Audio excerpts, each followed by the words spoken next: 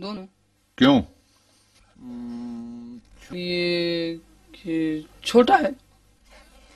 तो दो एक से बड़ा है हाँ? तीनों। क्या खाक उड़ाता है तेरा उस्ताद? चल उतर के इधर बैठ जा।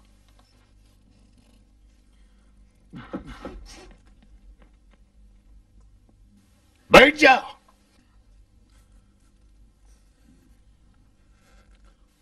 चलो अब बताओ। दो जानवर हैं जो प्यास की वजह से मर रहे हैं। एक कुत्ता और दूसरी गाय। पानी इतना कि बस एक जानवर पी सके।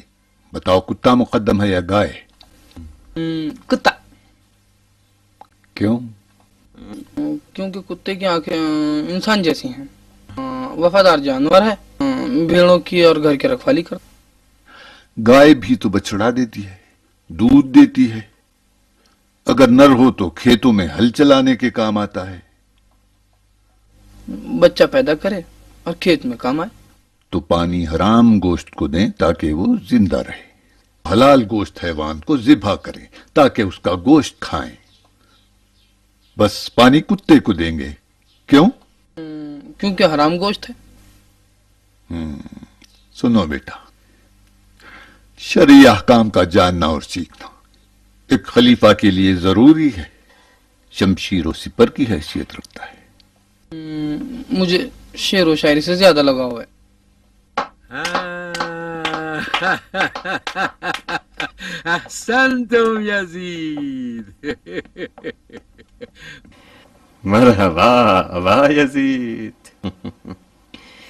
यजीद कहाँ और दीन मज़हब कहाँ?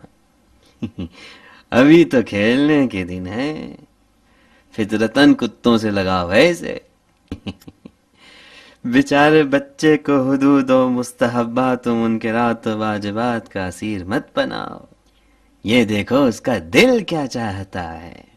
लकड़ी जब तक कच्ची और नरम हो खम हो सकती है अमर सुनाओ जमल की क्या खबर है? बुरी खबर है। अली तीर तरकश से नहीं नसीहतों से काम ले रहे। असहाब जमल के इरादे सुस्त हो गए उनके कदम लड़खड़ा गए। गोया अली जंग जमल को अपनी जबान की ही जुल्फ़िकार से जीत लेंगे। तला और जुबैर से मुलाकात भी की है। उन्होंने हथियार डाल दिया। अभी तो नहीं लेकिन जुबैर को देखा गया है अली से मुलाकात के बाद जंग में दिलचस्पी नहीं ले रहे। इसी वक्त खासिद मरवान के पास भेजो और कहो कि अगर देर की तो तुम्हें जलाकर जंग के शोले भड़काएँगे। भेज भी चुका और यह भी लिख दिया है कि अली ने जुबैर को हुकूमत कूफा की लालच दी है।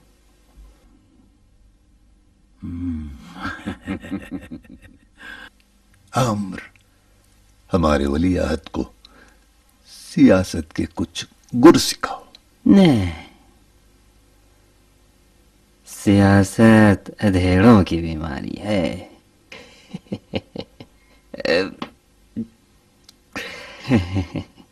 अबा यजीद ये शराब अंगूर से मस्त होने वाला है। शराब इल्म से नहीं। सियासत हुकूमत के लिए इसकी उम्र कच्ची है। अभी ज़िंदगी के मज़े उड़ाने तो नहीं।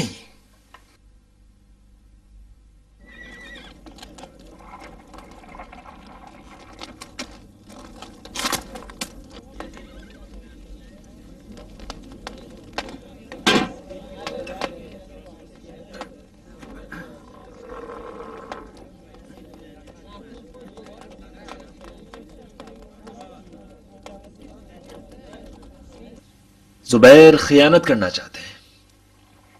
जब तक अली से नहीं मिले थे लश्कर के पुरजोर बाजू लगते थे। मैं मुतमईन हूँ कि रियासत कूफा के वादे ने उनको तहोबाला कर दिया ऐ ग्रीड की औलाद मेरे बाप दादा कम से कम अमानतदार तो थे। अपने माजी को देखो तुम्हारे मुर्दाखोर बाप दादा लाशों को नोच खाते नज़र आएँगे। इख्तिलाफ का बीज बोरा है बेहैसियत। फसान मत करो अब्दुल्ला मरवान मेरे माँ बाप तेरे पाँव पड़ते हैं भाई। ये जुदाई का वक्त नहीं, हमराई का वक्त है। अगर तलवार ही आजमाना चाहते हो तो मेरी गर्दन हाजिर है। रखो नियाम में। मालिक एस्तर के घोड़े ने अगर सुन लिया तो अपनी दुम से हमारा काम तमाम कर देगा। हमारे लश्करी थक चुके हैं वलीद। जब उन्हें घर वालों की याद आएगी और ये देखेंगे कि इन तनूरों से धुआँ नहीं उठ रहा है सुस्त पड़ जाएँगे थकन का एहसास करेंगे फिर छोड़कर चले जाएँगे। जितना जल्दी हो सके काम तमाम कर देना चाहिए। वाह तेरे बाप की मगफिरत हो।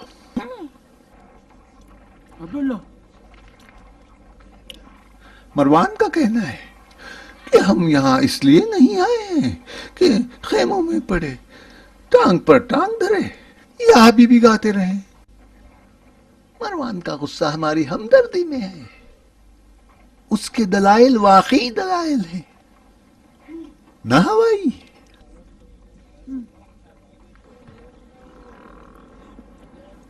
उम्मुल मोमिनीन और तलहतुल खैर, जंग के लिए तैयार है।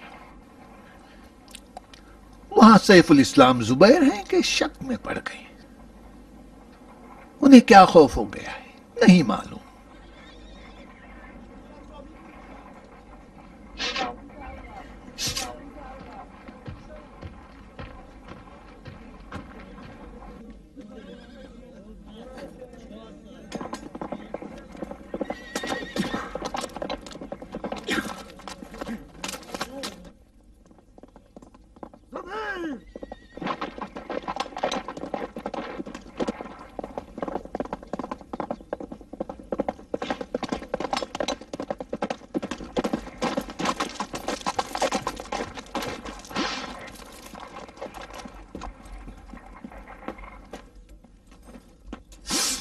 अली ने तुमसे क्या कहा है?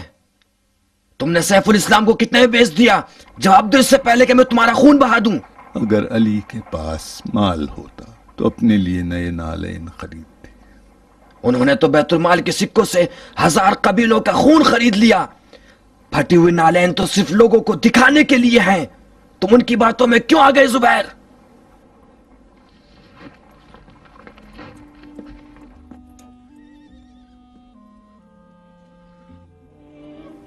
अब्दुल्ला, मरवान जैसों की बातों को मत दोहराओ।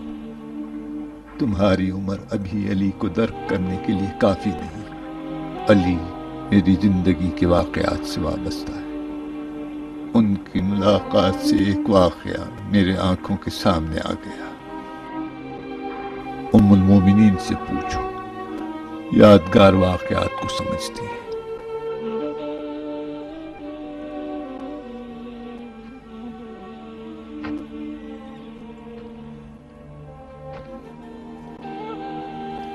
एक रोज मैं रसूल अकरम के हमराह था। हमने अली को देखा। आ हज़रत अली को देखकर मुस्कुराए। अली भी मुस्कुराए। मैं भी यूँ ही मुस्कुराने लगा। और अर्ज़ की, अली मुतकब्बिर है।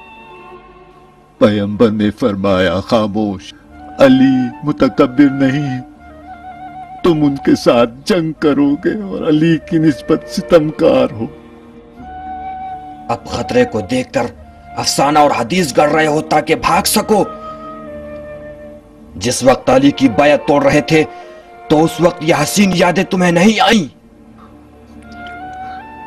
नहीं मालूम। शायद उस वक्त मेरे ख्वाब ख्याल के कुत्तों ने भोंकना शुरू नहीं किया था।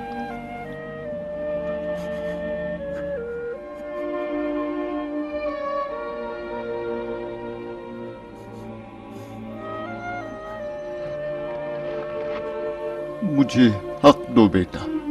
ख्यालात का ऊँट भी किसी वाकये की वजह से बिफर जाए। जुबैर अपने मामूजाद भाई अली के वादों में मत आओ। तुम भी अपनी खाला के वादों के आगे मजबूर न हो। अगर फतह भी हो जो नामुमकिन है तो तलहा खलीफा होगा उमुल मोमिनीन का चचाजाद भाई। अब क्या करोगे? रात के अंधेरे में बियाबान की तरफ़ जाऊँ। और सितारों को गिनूं।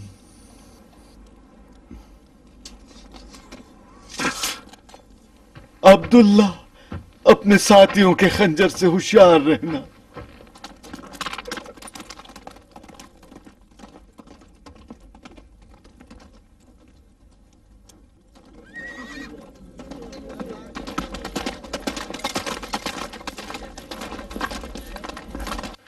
क्या हुआ अब्दुल्ला?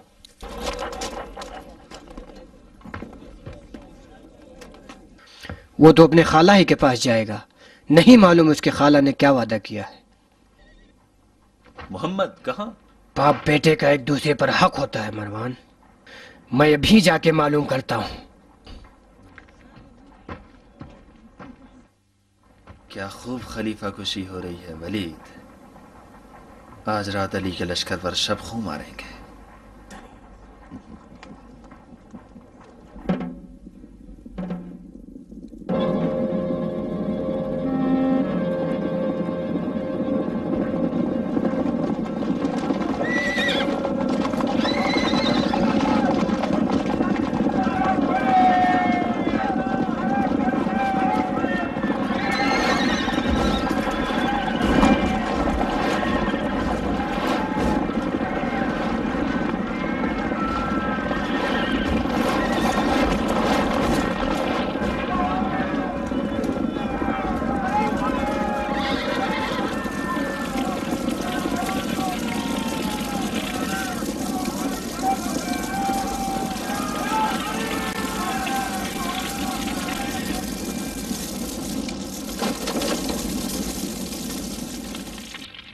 हमारे हाथ कट जाने के बाद जहाद की इजाज़त लोगे।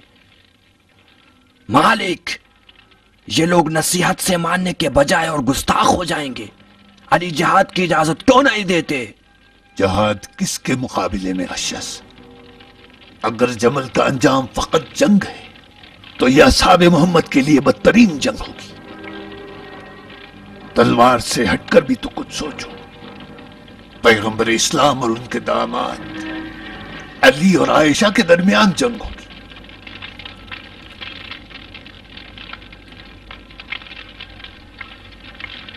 ये शब जमल खमीस रूहों की रात है, जिसने हकीकत का लिबास पहन लिया है। क्या हम अपनी हकीकत पर शक करें, मालिक? बिल्कुल नहीं, बल्कि उन रंग बरंग अलकाब पर शक करो, जिन्हें सैकड़ों ऊंटों पर बसरे तक लाया गया है।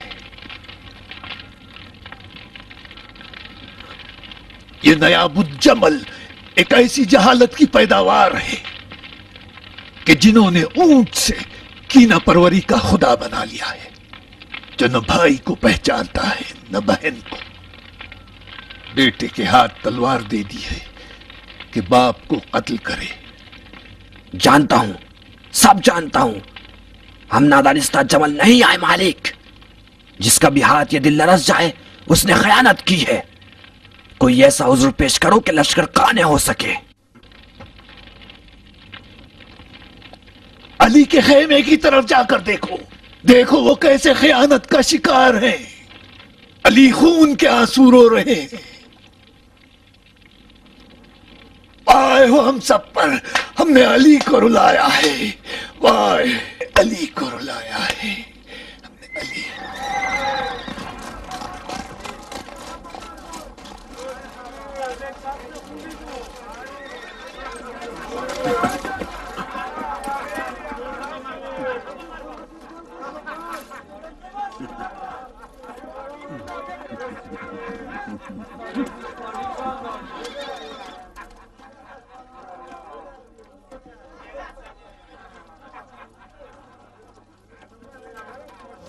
वलीद कहाँ है? शर्त करता हूँ कि मदहोश किसी गड्ढे में पड़ा होगा। और कुताम के बारे में सोच रहा होगा।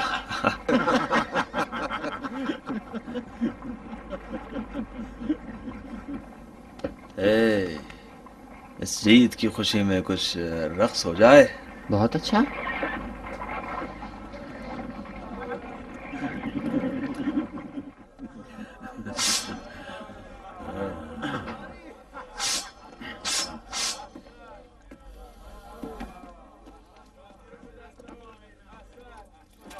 इब्ने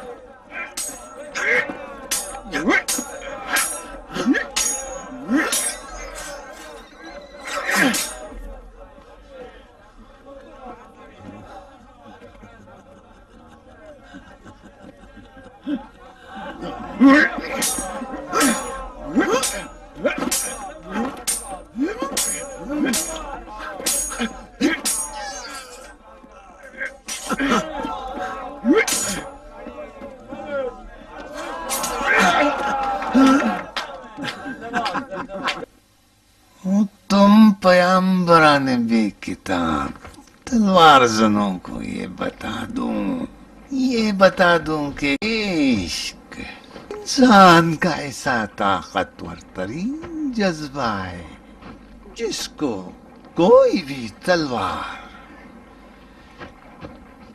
कभी भी कत्ल नहीं कर सकती। मस्ती में तुम्हारे टकमकाते कदम, मैं नहीं समझता महमिल इश्क को छू भी पाए अकबा की औलाद।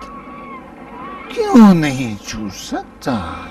बागी साहबजादे। मकाम इश्क बुलंद है और तू ठहरा पौना। कटे हुए सर पर पैर रख के चढ़ जाऊँगा। मैं बाप के भी कटे सर की। हम्म, हत्या अपने बाप के कटे सर पर। फ़र्क नहीं करता।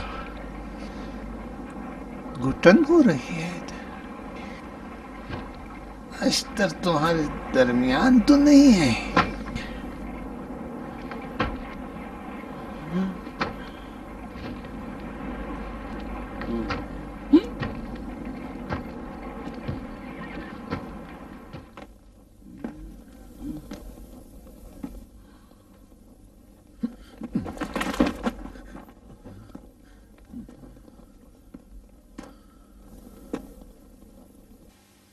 मस्ती में डगमगा रहा था हमलावरों से पिछड़ गया।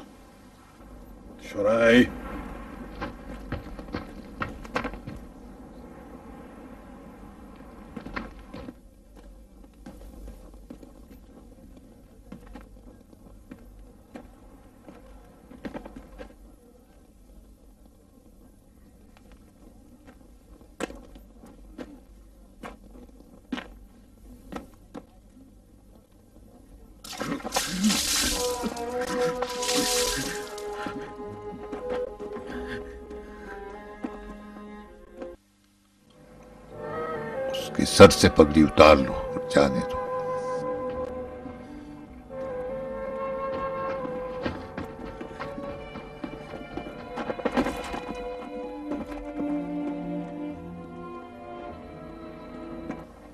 चला गया?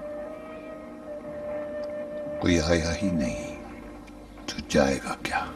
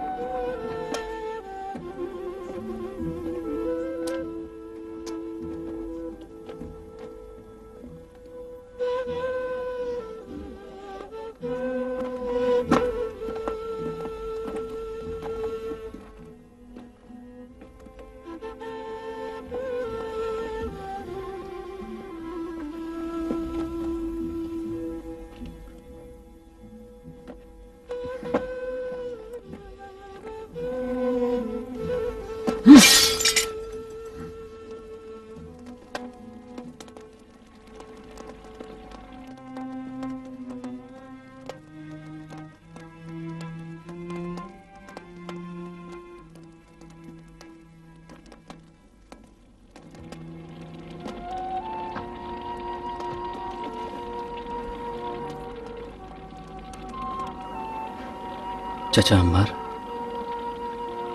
क्या बात है? फजा पे गम क्यों उतारी है? सब रंजीदा है। क्योंकि अली का दिल जल रहा है। काश उम्मुल मोमिनीन अली की जारो खतार गिरी की आवाज़ सुन लेती।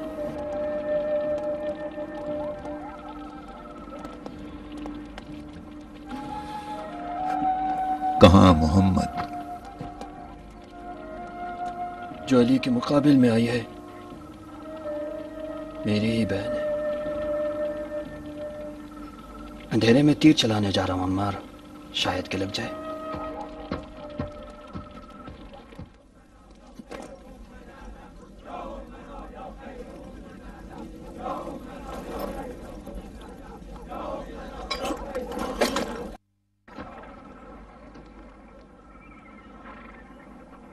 तुम हो तला तलहा के बगैर कहाँ जा रहे हो मोमिन? कोई बात नहीं। इतना जानता हूँ कि मुझे जाना चाहिए। एक जंग में सिपाही को देखा था जिसका आधा जिस्म तलवार ने ले लिया था लेकिन फिर भी वो एक तरफ़ जा रहा था। अपना दर्द दिल तलहा से कहो हल्के हो जाओगे। कुछ नहीं कहूँगा। संगीन हो गया हूँ। मुझे पुकार रहे हैं। तुम्हें सुनाई नहीं दे रहा है। तय नहीं था कि शक्को तरदीद को आने दे सरदार। सब्र करो ताकि हिकमत की कुछ बात करो। ऐसी जगह भी आ जाती है जहाँ कोई किसी का साथ नहीं देता। हत्ता तल्हा और जुबैर ही क्यों न हो? तुम नमाज़ और इमामत के वाक़े पर नाराज़ तो नहीं हो? इसके अलावा तुम और भी तो कुछ सोचो तला खुदा हाफिज।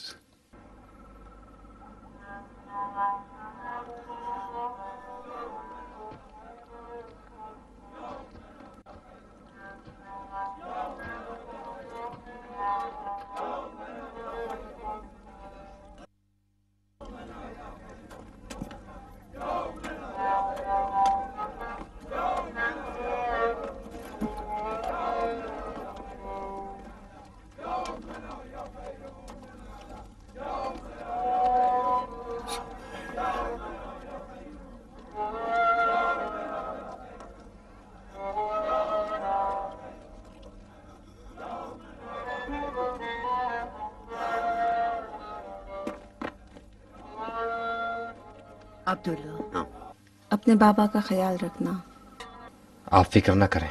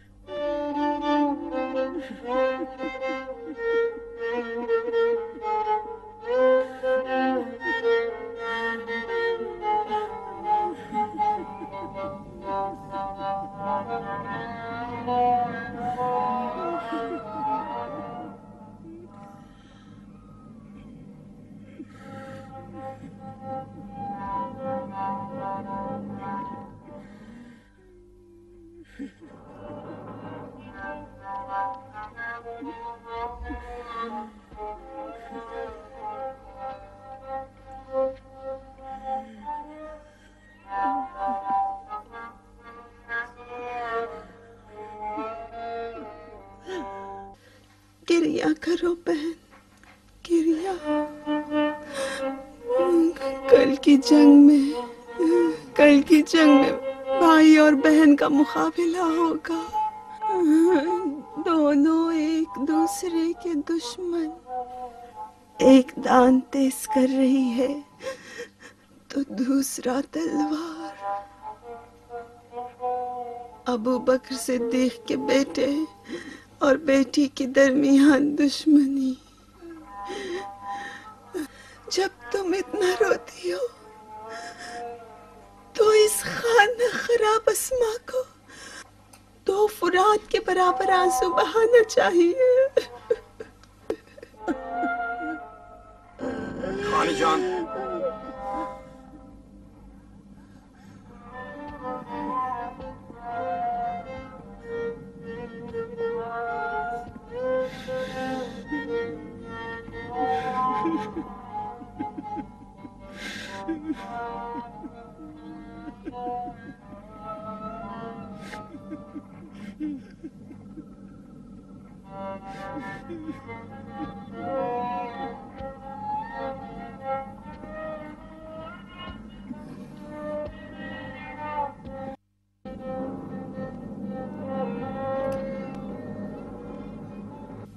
मैंने उससे अभी कत्ल ही कहाँ किया है जो रो रही हो?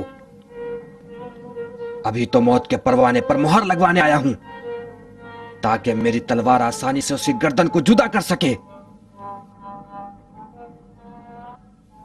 अगर ऊद जलाकर खजूर और मिठाई के प्याले यहाँ घुमाए जाएँ, तो ये जगह कब्रिस्तान जैसी लगेगी। हमारी सरदार सुन ले खुशी से हंसे और जाएँ। और दूसरों को भी हंसाएँ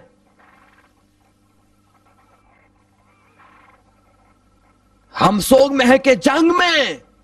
क्या हो गया? कुछ नहीं बस आपको बाद ही में बताऊँगा। खाला को हज़ारों ऐसी हदीसें याद हैं जिनमें से एक एक हदीस पहाड़ों को हिला सकती है। आप हदीस याद करके सुनाएँ और गिरिया करें। मैं जंग के उमूर को संभालता हूँ।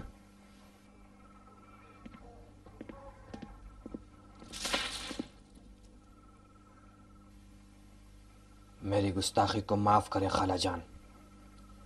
पैगंबर अकरम से मनकूल अहादीस न दिखने वाली तलवारों की तरह हमारे लश्कर पर आन पड़ी हैं। आज रात हमारा एक नामी गिरामी सरदार ऐसी ही एक हदीस के हाथों अपनी जान धो बैठा है। हम जानते थे जानते थे खाला जान, कि अली की जुबैर से पैदर पे मुलाकात में कोई हिकमत ज़रूर है। बस उसके कान में कोई ऐसी हदीस या वाकया अली ने डाल दिया कि वो राह से मुनहरिफ हो गया। खाला जहान जुबैर फरार हो गया है। जा रहा हूँ और उसका सर काट कर लाऊँगा। अब्दुल्ला! तुम फकत आँसू बहाओ असमा जुबैर का सर। ओ मदद करो बहन मदद करो। वो मार देगा अपने बाप को मार देगा वो।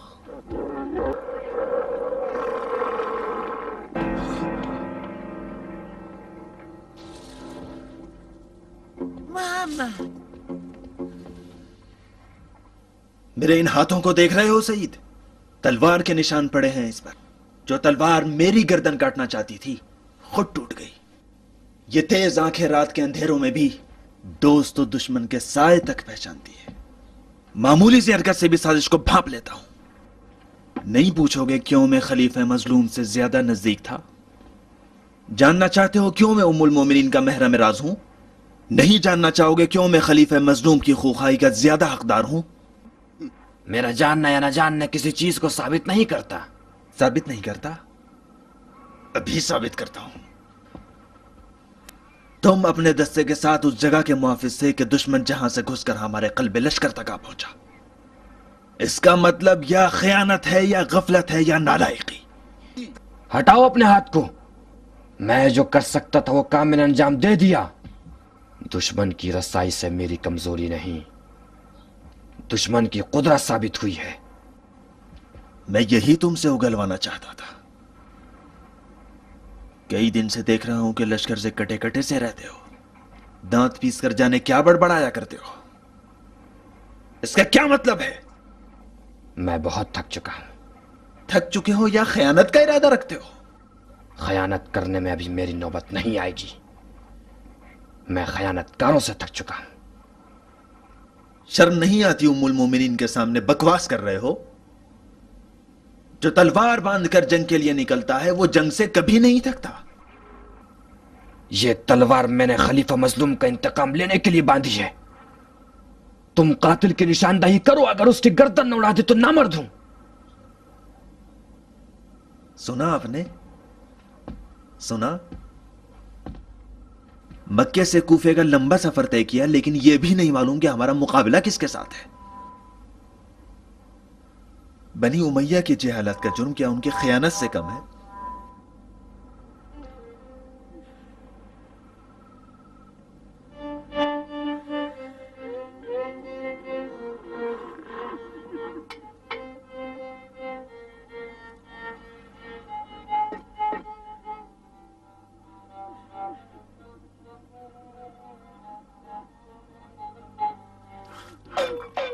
तुम अब पानी क्यों नहीं पीते कि तुम्हारी प्यास बुझे?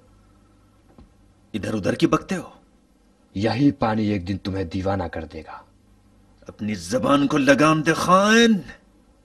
उम्मुल मुमिनीन की मौजूदगी में जबान दराजी मत करो। खलीफा मकतूल ने प्यास के आलम में जान दे दी और तुम अपनी जान बचाने के लिए छुप छुप कर पानी पिया करते थे। दफ़ा हो जा। दफ़ा हो जा। ये रही तलवार। और ये रहा कमरबंद। हमेशा के लिए जाता हूँ। मरवान, खलीफा के कातिल इसी अतराफ में है।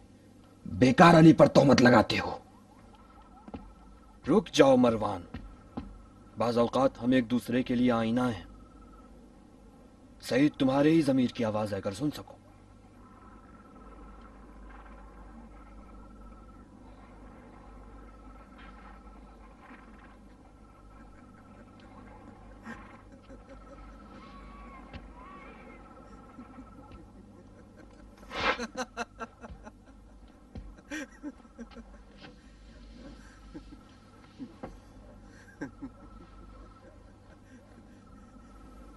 मैं सोच भी नहीं सकता था कि अबू बकर सिद्दीक के बेटे को जासूसी का काम सौंपा जाए। मैंने सुना था कि इब्ने अबी तालिब की खिलाफत में कोता कद और जवान लोगों को अहम मनसब दिए जाते हैं।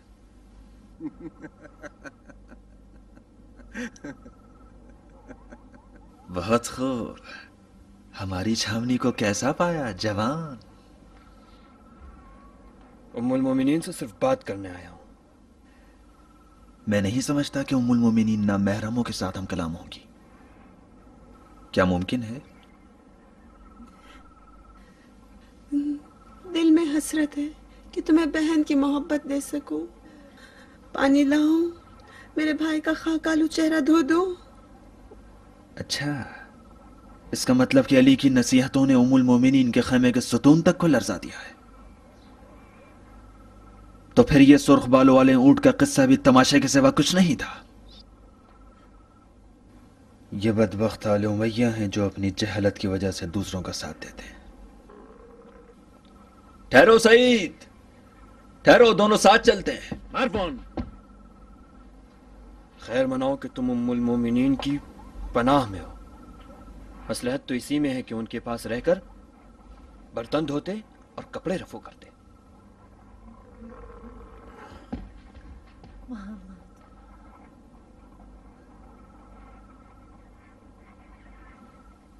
देख रही हो असमा? इन मुफसिद शयूख के परवरदों को देख रही हो? मैं, मोहम्मद, अबू बकर सिद्दीक का बेटा आयशा का हम खून, ना महरम शुमार किया जा रहा हूँ, और ये नाकारा भेड़ों के रेवड़ महरम तनाई है। इल्ला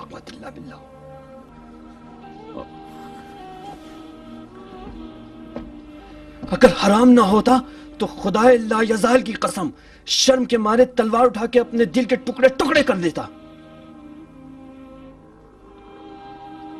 शर्म आती है अपनी बहनों को, अबू सुफियान के नापाक बेटों के हाथों खिलौना देखूँ। ये लोग हुकूमत की खातिर अपने सगे भाई का कलेजा चबा जाते हैं। उनके नज़दीक उस्मान का कुर्ता, आयशा का मकाम, सिक्कों की झनकार के बराबर भी नहीं है। मोहम्मद, तीरों तलवारों की दरिया से गुजरकर हमारी सरजनिश करने आए हो। ज़रूरी था ना मेरा आसमा। मैं अली के टूटे हुए दिल का पैगाम लेके आया जानती हो तुम क्या कर रही हो? जानना चाहोगी? ये भोले भाले सीधे से लोग जो खुखाही के चक्कर में आके ऊँट के पीछे निकल पड़े हैं, इनके खून का जवाब कौन देगा? मेरे साथ रिसालत की खुशबू से महकती मदीने की गलियों में चलो। सोचो। गदीर खुम के मैदान को याद करो बहन। जब रसूल खुदा की आँखें इस दुनिया से बंद हो रही थी, किसकी आगोश में सर था? सोचो, लिल्लाह कुछ सोचो। राह अली के अलावा कौन सी राह हक है?